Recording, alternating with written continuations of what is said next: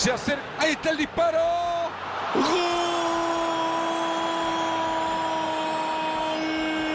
¿Qué me contás, Marito? Dos goles de ventaja ya. Yo creo que no sé si es merecido, pero los goles son los que marcan la diferencia.